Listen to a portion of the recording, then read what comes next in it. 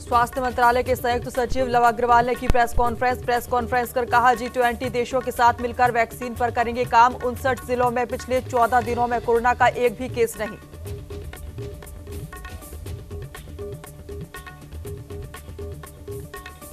लखनऊ में यूपी के अपर मुख्य सचिव गृह अवनीश अवस्थी ने की प्रेस कॉन्फ्रेंस कहा सीएम योगी आदित्यनाथ ने लोक भवन में टीम 11 के साथ की बैठक बैठक कर कहा कोटा से लौटे सभी 10,500 बच्चों को किया जाए क्वारंटीन।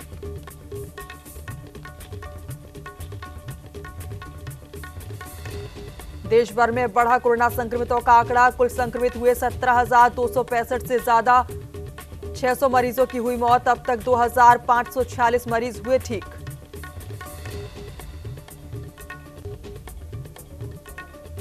यूपी के सीएम योगी आदित्यनाथ के पिता आनंद सिंह बिष्ट का निधन, दिल्ली के एम्स में नवासी साल की उम्र में हुआ निधन, काफ़ी समय से बीमार चल रहे थे आनंद सिंह बिष्ट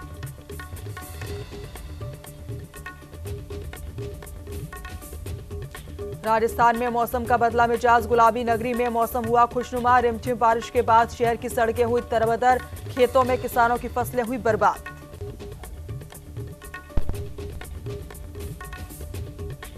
नमस्कार, आप देख रहे हैं न्यूज़ इंडिया और मैं हूँ आपके साथ रश्मि गुलसरेस्ट उत्तर प्रदेश के सीएम योगी आदित्यनाथ के पिता आनंद सिंह बिष्ट का दिल्ली एम्स में निधन हो गया। उनके निधन पर तमाम राजनीतिक दलों ने शोक व्यक्त किया है। उत्तराखंड के सीएम त्रिवेंद्र सिंह रावत ने भी दुख जताते हुए कहा कि उनके सामाजिक कार्य को पूरा प्रदेश याद करेगा। आपको बता दें कि नवासी साल के आनंद सिंह बिष्ट लंबे समय से बीमार चल रहे थे।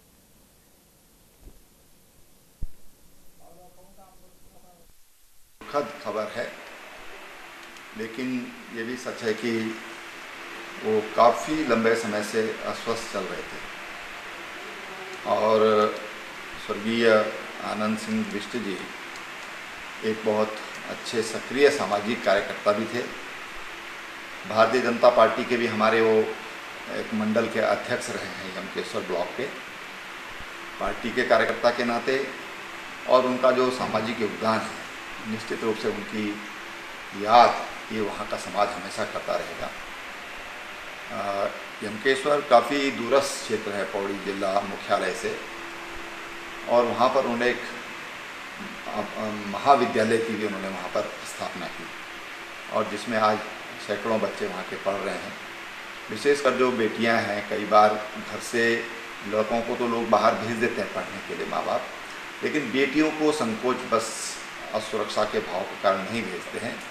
तो उन्होंने उसमें एक बड़ा महत्वपूर्ण योगदान उनका रहा है। कोरोना वायरस ने जहाँ दुनिया भर में कहर बरपाया हुआ है तो वहीं इस महामारी ने मंदी के दरवाजे भी खोल दिए हैं, जिसका असर गरीबों और किसानों पर देखने को मिल रहा है। उत्तराखंड के उधम सिंह नगर के काशीपुर में कड़ी मशक्कत से सब्ज़ी की बुआई कर तैयार करने वाले किसान मंडी में सब्ज़ी के भाव सही न मिलने से मायूस हो चले हैं। किसानों का कहना है कि लॉकडाउन की वजह से भारी नुकसान उठाना पड़ रहा है। जो भाव सब्ज़ी का मार्केट और मंडी में मिलना चाहिए था, वो नहीं मिल पा रहा है। किसानों का कहना है कि यही हाल रहा तो किसानों के आगे भूखे मरने के हालात पैदा हो जाएँगे।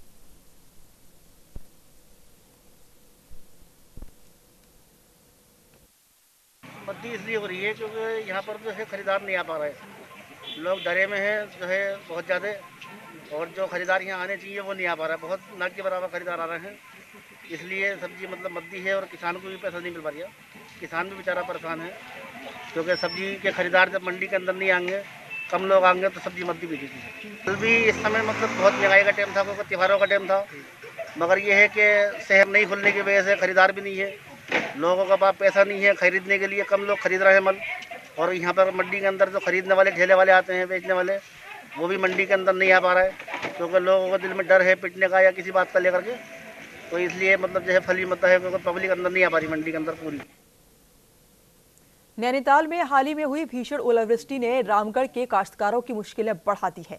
फल पट्टी के नाम से विख्यात रामगढ़ के फल देश के कोने कोने में बड़े चाव से खाए जाते हैं, लेकिन इस बार अप्रैल माह में खराब होती मौसम ने साल भर हाड़तोड़ मेहनत करके अपनी आजीविका चलाने वाले काश्तकारों की कमर तोड़कर रख दी है। अप्रैल माह में हुई भीषण ओलावृष्टि ने आड़ू की फ़सल को पूरी तरह बर्बाद कर दिया है। ओलावृष्टि से आड़ू के पेड़ और फलों का फलों को टेफ्रेना नामक बीमारी ने खराब कर दिया है, जिसके चलते किसानों को बैंक का कर्ज चुकाने की चिंता सताने लगी है। अब काश्तकार राज्य सरकार से कर्ज लिए धन पर ब्याज में छूट देने के साथ मदद की गुहार लगा रहे हैं। से नुकसान काफ़ी हो गया है। जैसे आप इस बार मटर तैयार हो रही, मटर को नुकसान हो गया ये आड़ों को नुकसान हो गया, सेब में फुलाई चल रही है, इसको नुकसान हो गया, गेहूँ की फ़सल को नुकसान हो गया, काफ़ी ओलावृष्टि मतलब इस बार देखने को मिली।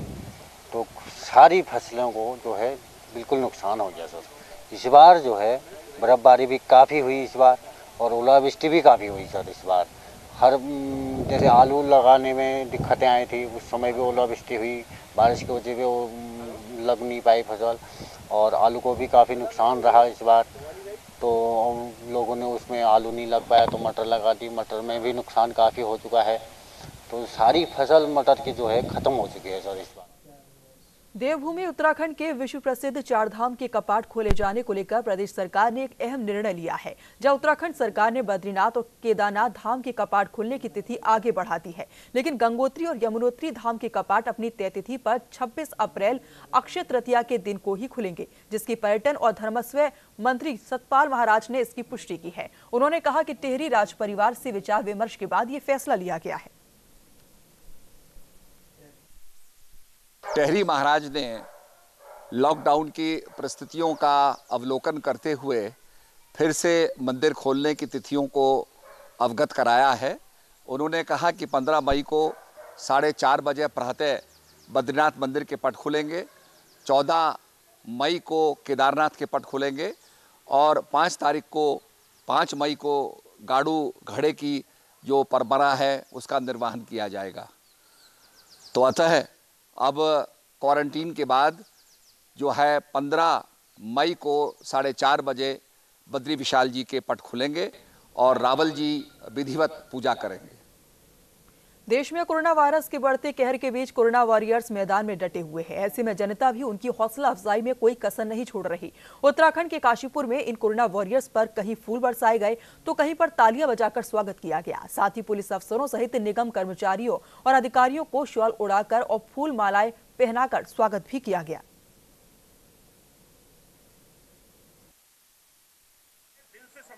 कल मेरे पास कासपुर मीडिया के जो अध्यक्ष हैं दिलप्रीत जी, उनका प्रस्ताव आया था कि वो निगम के जो है सभी अधिकारियों को, कर्मचारियों को सम्मानित करना चाह रहे हैं। मुझे बहुत अच्छा लगा। और ये हमारे जो कोरोना वायरस हैं, इनका सम्मान है। और उनकी इस पहल का मैं स्वागत करता हूँ। और इससे निश्चित तौर पर हमारी जो टीम है, हमारे जो अधिकारी हैं, उनका मनोबल बढ़ेगा, ऐसा मेरा विश्वास है। हरियाणा के अंबाला में भी गेहूँ की फ़सल की खरीद शुरू हो गई है, जहाँ हरियाणा पंजाब बॉर्डर पर ननियोला गाँव की मंडी में भी फ़सल खरीद का काम शुरू कर दिया गया है। तो वहीं इसे लेकर अंबाला के विधायक असीम गोयल ने कहा कि फ़सल की खरीद फरोख्त को लेकर किसानों को किसी तरह की दिक्कत न, नहीं आने दी जाएगी। इसके साथ ही किसानों को सेहत को ध्यान में रखते हुए सैनिटाइजेशन टनल भी लगवाई गई है। सबसे पहले तो आज जो हमारे अन्नदाता साथी हैं, किसान भाई हैं, उनकी सुरक्षा के लिए, आड़ती भाई हैं जो हमारे, उनकी सुरक्षा के लिए, मार्केट कमेटी की जो हमारे परचेज एजेंसीज हैं, उनके जो कर्मचारी हैं, उनकी सुरक्षा के लिए एक सैनिटाइजेशन टनल क्योंकि ये बॉर्डर के ऊपर मंडी स्थित है। हरियाणा का आखिरी गाँव है, पंजाब इसके साथ सटा हुआ है। और इस मंडी की अगर मैं कहूँ, जीवन रेखा पंजाब का किसान भाई है। तो हमने भी ऊपर बात भी की है कि अभी शुरुआत में हरियाणा, लेकिन बाद में पंजाब के साथियों का भी कोई ना कोई सिस्टम ज़रूर बनवाएँगे ताकि उनको अनाज बेचने में दिक्कत ना आए। क्योंकि इस मंडी का, जिस तरह अम्बाड़ा शहर मंडी है अम्बाड़ा शहर मंडी में लगभग साठ प्रतिशत से पैंसठ प्रतिशत किसान से, किसान भाई पंजाब से आते हैं और यहाँ नन्योड़ा में भी लगभग अस्सी प्रतिशत किसान भाई पंजाब से आते हैं। तो दिक्कत नहीं आने दी जाएगी। आज गेहूँ की खरीद का जो है शुभारंभ किया गया है और चाहे आड़ती भाई हो, किसान भाई हो चाहे कोई किसी भी तरह से किसी भी साथी को कोई दिक्कत नहीं आने दी जाएगी। सरकार अनाज का एक एक दाना खरीदेगी। बिल्कुल ठीक तरीके से खरीद होगी। यहाँ रुकेंगे छोटे से ब्रेक के लिए। आप देखते रहिए न्यूज़ इंडिया।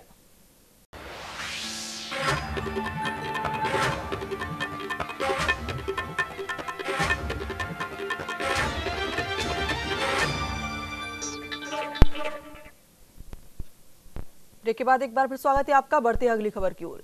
कुरुक्षेत्र के अनाज मंडी में सोशल डिस्टेंसिंग का पालन नहीं किया जा रहा है। दरअसल प्रशासन ने कई तरह के दावे किए थे कि अनाज मंडी में भीड़ नहीं लगेगी, लेकिन जैसे ही अनाज मंडी में खरीद शुरू हुई, वैसे ही भीड़ लगने लगी और सोशल डिस्टेंसिंग की धज्जियाँ उड़ने लगी। वही प्रशासन ने मंडी में आने वाले वाहनों को सैनिटाइज करने की भी बात कही थी, लेकिन ऐसा कुछ दिखाई नहीं दिया। वही जब इस पूरे मामले पर स्थानीय विधायक और मंडी के अधिकारियों से बात की गई तो इस पूरे मामले को गोलमोल घुमाते नज़र आए और कहा अभी खरीद का पहला दिन है। सभी व्यवस्थाओं को दुरुस्त कर लिया जाएगा।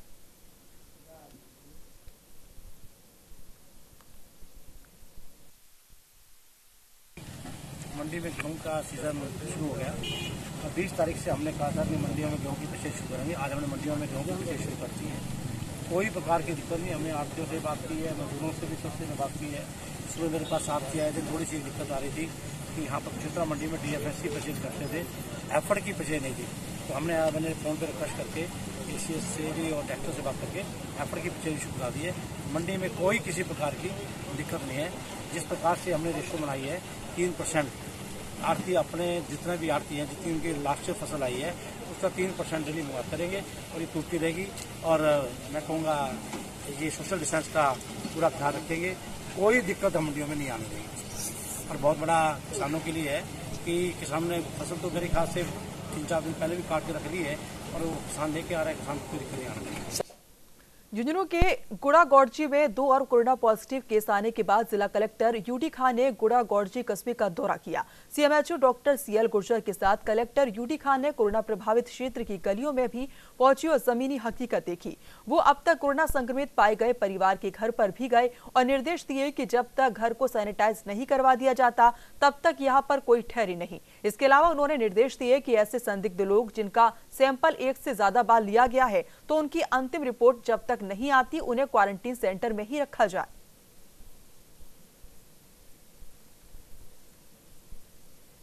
संक्रमण है, वहाँ दौरा इसलिए किया था, मेरा सोच ये था कि बहुत ज़्यादा कंजस्टेड एरिया है और वहाँ से व्यक्तियों को निकालना की ज़रूरत है, लेकिन जो दो फैमिली से चार फैमिली हुई, उनके घरों को भी देखा गया। तो घर करीब करीब खाली हैं, अब वहाँ संक्रमण का डर नहीं है। और इसी तरह से ये भी देखा कि वहाँ और क्या किया जा सकता है। तो डिसइंफेक्शन करवाने के लिए सुबह सुबह एसडीएम साहब को बोल दिया है। मास्क वितरण करने के लिए एसडीएम साहब को बोल दिया है। इसी तरह से रैपिड टेस्ट करवाने के लिए अभी सीमितों को बोला है। एक दो दिन में यहाँ पर सारे कस्बे का रेंडमली रैपिड टेस्ट कराए जाएँगे और कुछ कम्युनिटी के लोग इस तरह के हैं, जहाँ पर इस तरह की प्रोब्लेम्स ज़्यादा है, जहाँ पर इस तरह का रोग ज़्यादा फैल रहा है तो उन लोगों का घर घर जाके और रैपिड टेस्ट बाड़मेर के समदड़ी कोरोना वायरस के संक्रमण को लेकर प्रशासन और पुलिस मुस्तैद है। यहाँ पुलिस थाना परिसर से फ्लैग मार्च निकाला गया, जो कस्बे के मुख्य बाज़ार से होकर विभिन्न गलियों से निकला।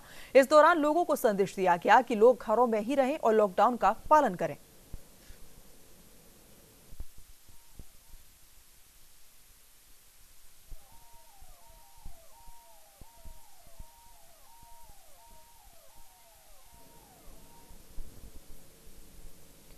खबर राजस्थान के झुंझुनू से है, जहाँ पर कलेक्टर ने लॉकडाउन और होम क्वारंटीन को तोड़ने वालों को के खिलाफ सख्त कार्रवाई करने की चेतावनी दी है। तो वहीं इन पर कार्रवाई करने में यदि संबंधित अधिकारी कोई लापरवाही करते हैं तो उनके खिलाफ वो खुद कार्रवाई करेंगे। जिला कलेक्टर यूडी खान ने सभी उपखंड अधिकारियों और तहसीलदारों को आदेश दिया है कि होम आइसोलेशन की पालना न करने वाले लोगों के खिलाफ एफआईआर दर्ज की जाए।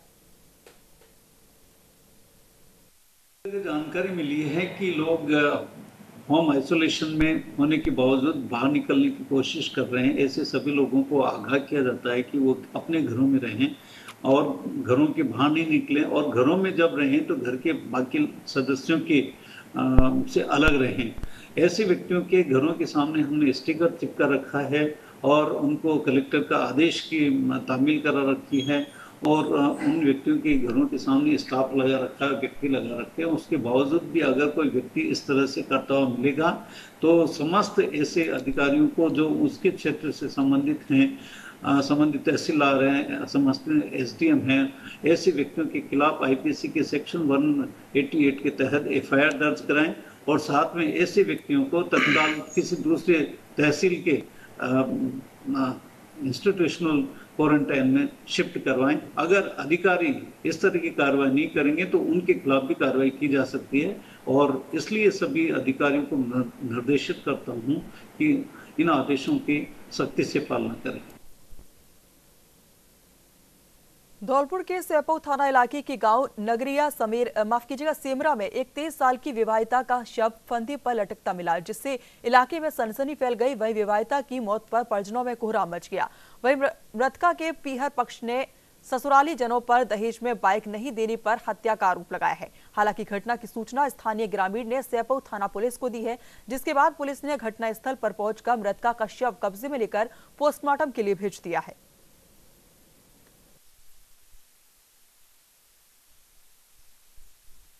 सूचना मिली थी कि नगरिया सेमगा के पास में एक लड़की की मौत हो गई। है इस सूचना पर मैं जाप्ता के तुरंत वहाँ पहुँचे, जिसकी डेड बॉडी को किसी सेबों में ला के रखा गया था।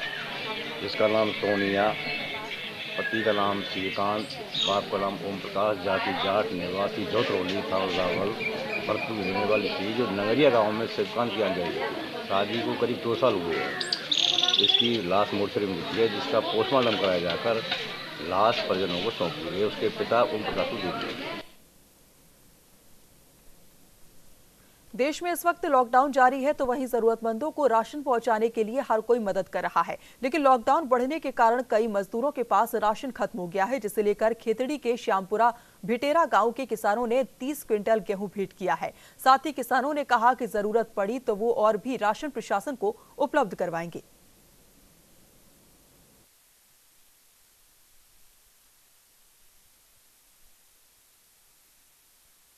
गरीब, आम मजदूर, किसान वर्ग, ना किसान कम्युनिटी से जो बिलोंग करते हैं श्यामपुरा बिठारा गाँव के लोग हैं, उन्होंने ये पहल की है।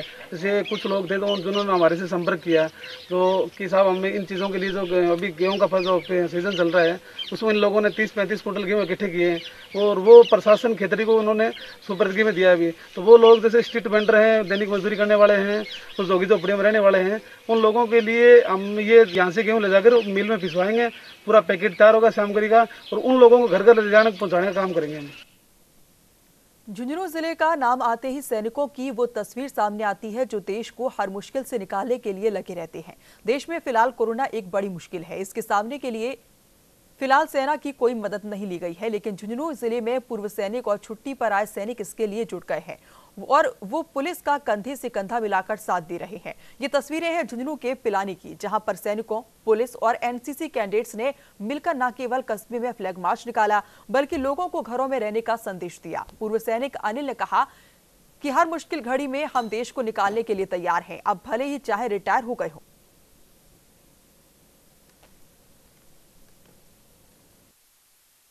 अभी डीएसपी साहब और सीआई साहब ने बताया, हम लोग हर टाइम अपने देश में जो भी मुश्किल हालात आए हैं, उसके लिए हम हमेशा तैयार रहे हैं।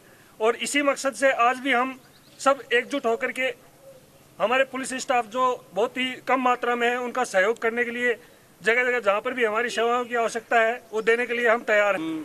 पिलानी में हमारे एक्स सर्विसमैन, हमारे एनसीसी कैडेट्स के साथ में मिलकर के कोरोना से लड़ने के लिए सभी ने एक साथ मिलकर काम करने का निर्णय लिए इसके लिए मैं सभी एनसीसी कैडेट्स और मेरे फौजी भाइयों को बहुत बहुत धन्यवाद देता हूँ कि जो फौजी भाई देश की सेवा करने के पश्चात आज एक बार फिर देश की सेवा करने के लिए, देश को कोरोना से बचाने के लिए आम जन को सुरक्षित करने के लिए वापस हमारे साथ कंधे से कंधा मिलाकर लड़ने के लिए तैयार हुए मुझे पूर्ण विश्वास है, ज़्यादा से ज़्यादा फौजी भाई साथ आकर के हमारा इस क्षेत्र को कोरोना से मुक्त करने में पूरा सहयोग करेंगे। साथ कंधे से कंधा मिला के खड़े हुए समस्त फौजी भाई तथा एनसीसी के जवानों का धन्यवाद देता हूँ। वो इसलिए भी देता हूँ कि एक इलेक्शन के अंदर हमारी एक टीम आई थी, उन्होंने कहा कि झुंझुनू में देखने लायक क्या है बाहर के। तो मैंने कहा, आपको बहुत चीज़ देखने को मिलेगी जो पूरे देश में कहीं नहीं मिलेगी। आप उठा के किसी भी गाँव को देखना, एक शहीद की मूर्ति लगी हुई आपको मिलेगी, वो कहीं नहीं मिलती है।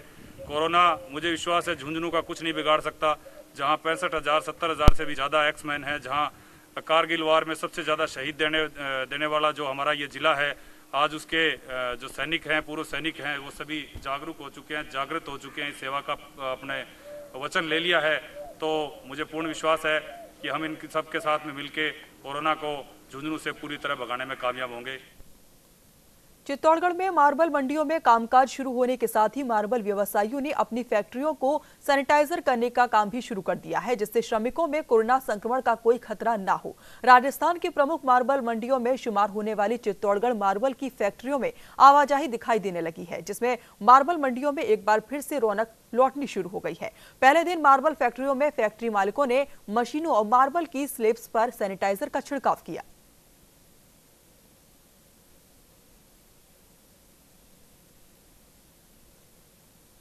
पहले तो हम केंद्र सरकार और राज्य सरकार का आभार व्यक्त करना चाहेंगे कि उन्होंने इस कोविड महामारी को बहुत सतर्कता से और बहुत कंट्रोल करते हुए और जो चित्तौड़ को ग्रीन जोन में रखा, जिसकी वजह से आज हमारे यहाँ के उद्योग 20 तारीख को जो सरकार के नॉम से जिन जिन फैक्ट्रियों के अंदर जो श्रमिक यहीं स्थायी रूप से निवास कर रहे हैं, उन लोगों को एक रोज़गार प्राप्त करने का अवसर प्राप्त हुआ है। हम लोग सबसे पहले तो अपनी सारी जो मशीनें इतने समय से बंद पड़ी है, उनको सैनिटाइज कर रहे हैं, पूरी फैक्ट्री को सैनिटाइज कर रहे हैं। सारे श्रमिकों के टेम्परेचर टेस्टिंग के लिए हमने जो टेम्परेचर टेस्टिंग मशीन है वो मंगवाई है और पूरी फैक्ट्री को सैनिटाइज करके सारे मजदूरों को मास्क दे के और जो हमारे नॉर्म्स केंद्र सरकार ने दिए हैं, राज्य सरकार ने दिए हैं, उसके अकॉर्डिंग हम ये प्रयास कर रहे हैं कि हमारा जो उद्योग करीब पिछले तीन सप्ताह से बंद है। वो धीरे धीरे धीरे धीरे करके और पूरा लाइन पे आ जाए कोरोना वायरस के कहर से जंग लड़ते हुए रोल मॉडल बना भीलवाड़ा। अब कोरोना टेस्ट के मामले में भी दूसरे जिलों से आगे रहेगा। दरअसल भीलवाड़ा में विजय राजे सिंधिया राजकीय मेडिकल कॉलेज में कोरोना वायरस सैंपल जाँच लैब की शुरुआत की गई है। जहाँ इस लैब से एक दिन में एक हज़ार सैंपल की जाँच का लक्ष्य लेकर जल्द ही दो मशीन और लगाई जाएँगी। वही जिला कलेक्टर राजेंद्र भट्ट ने पुलिस अधीक्षक हरेंद्र महावर के साथ मोली बंधन खोलकर लैब की शुरुआत की है। वही जिला कलेक्टर राजेंद्र भट्ट ने कहा कि भीलवाड़ा के मेडिकल कॉलेज में तीन मशीनें लगाई जाएँगी, जिसमें से एक मशीन दानदाताओं के सहयोग से आज शुरू की गई है। हमारे डॉक्टर्स और टेक्नीशियंस कुछ जयपुर से ट्रेन होके आए हैं। कुछ अभी हमने उदयपुर भेजे हुए हैं, ट्रेनिंग ले रहे हैं। कुछ हमारे पास कंपनी वालों ने यहाँ भी ट्रेन किए हैं। तो जितनी हमारी आवश्यकता है, उस हिसाब से हमको ट्रेंड स्टाफ मिलेगा। थोड़ा टाइम लगेगा पाँच सात दिन के अंदर ये सब लोग अच्छी तरह से ट्रेन हो जाएँगे, फिर अपना फुल स्पीड के ऊपर फुल कैपेसिटी पे इसका कार्य कर पाएँगे। शुरू शुरू में धीरे धीरे काम स्टार्ट होगा और काम इसका अच्छा जनता को, भीलवाड़ा की जनता को अच्छा फ़ायदा मिलने की इससे उम्मीद है। भीलवाड़ा में आज मोलिकुलर लैब आरटीपीसीआर की स्थापना हो चुकी है। अभी इसमें जो पहली मशीन है, वो 48 उसकी कैपेसिटी है, एक साथ वो 48 टेस्ट करती है और ये टेस्ट ढाई घंटे में करीब पूरे होते हैं। तो अगर राउंड द क्लॉक चले तो 200 250 इसके अंदर टेस्ट हो सकेंगे। हमारी दो 96 कैपेसिटी की मशीन्स भी आ गई हैं, उसका इंस्टॉलेशन होना है बाकी है। तो करीब करीब इस हफ़्ते में उसका इंस्टॉल होकर वो भी चालू हो जाएगी। तो करीब एक हफ़्ते बाद हम ढाई घंटे में आप ये माने ढाई सौ टेस्ट कर पाएँगे। तो अब हमें हमारे सारे जो टेस्ट हैं वो यहीं हो सकते हैं। हमें अब जयपुर नहीं भेजना पड़ेगा। लोगों को ज़्यादा इंतज़ार नहीं कर, करना पड़ेगा क्वारंटीन में। और उसके साथ साथ और भी कई आसपास के ज़िले हैं उनको कोई दिक्कत आ रही होगी तो वो यहाँ टेस्ट के लिए भेज सकेंगे। और इसके अंदर जो ये मशीन्स हैं वो सभी मशीन जो है दानदाताओं ने दी है। अजमेर के ब्यावर में जवाजा थाना पुलिस ने अवैध शराब के खिलाफ कार्रवाई की, जहाँ पर दो शराब तस्करों को गिरफ़्तार कर उनके कब्जे से 30 लीटर शराब बरामद की गई। वहीं अवैध शराब के साथ एक बाइक भी जब्त की गई। थाना प्रभारी कंवरपाल सिंह ने बताया कि लॉकडाउन के दौरान बाज़ार में शराब नहीं मिलने के कारण कुछ असामाजिक तत्वों की ओर से अवैध रूप से शराब की तस्करी की जा रही थी, जिसे सूचना मिलने पर थाना क्षेत्र के रावतमाल तिराही पर कार्रवाई कर जब्त किया गया।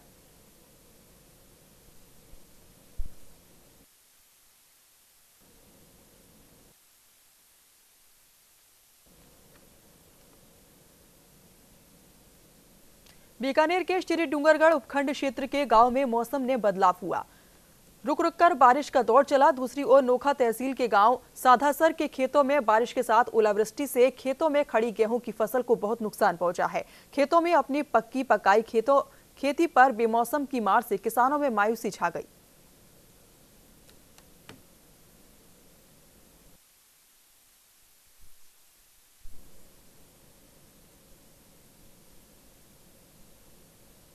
राजस्थान सरकार की ओर से मॉडिफाई लॉकडाउन में बूंदी में लोग वाहनों के साथ घर से बाहर निकलने लगे हैं, जिसके बाद पुलिस ने अपनाया सख्त रुख अपनाते हुए कई वाहनों को जब्त किया है। साथ ही लोगों को घरों में रहने की हिदायत भी दी गई है। ऑफ़िस वगैरह जो खुले हैं, उसमें भी कुछ सीमित संख्या में कर्मचारियों को परमिशन दी गई है, उसमें अपना कर्मचारी अपना आईडी लेकर साथ चलेगा। इसके अलावा जिन दुकानों को छूट दी गई है, वो भी प्रशासन की अनुमति लेके और व्हीकल अगर उनके पास है तो व्हीकल की अनुमति लेकर ही चलेंगे। बिना वजह ताकि लोग इधर उधर नहीं घूमें, इसलिए थोड़ा सख्ती के लिए और लोगों को समझाइश के लिए हमने आज पूरे कस्बे में फ्लैग मार्च किया है और फिर भी अगर इसकी पालना नहीं की जाए तो हम पढ़ाई से पालना कराने के लिए इसके खिलाफ सख्त कार्रवाई करेंगे व्हीकल्स को जब्त करेंगे और मुकदमे में ज़रूरत पड़ी प्रश्न भी दर्ज करेंगे। फ़िलहाल अभी के लिए बस ही। तमाम खबरों के लिए आप देखते रहिए न्यूज़ इंडिया।